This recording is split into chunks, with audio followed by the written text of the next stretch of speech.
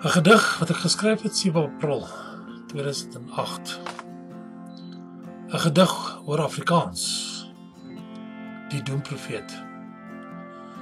Moeder, dit is 'n doemprofeet. Hy sê aan my, ek gaan my taal vergeet.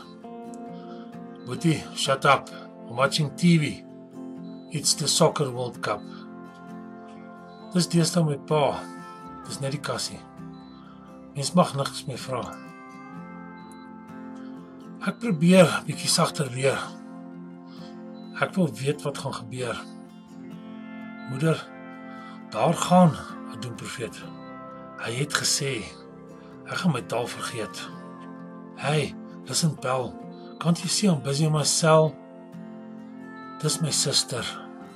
Met sterk duimspiere het sy vergeet van gister. Hierdie keer het ek so 'n bietjie gewag en ek fluister toe sag. Moeder, die doemprofeet is amper weg. Sy laaste woorde was: Dit is besleg. My little seedling, look, it's the new you. Can't you see I'm reading? Dit was my tannie. Neus in die blaaie. Sy kan my lank nie meer verstaan nie.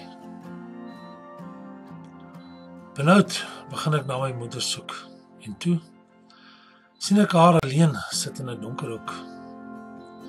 Dan merk ek sy sien my en my hart raak vir 'n oomblik weer bly. Maar in haar oë is daar diep verdriet. En my vreugde kwyn pynlik tot niet.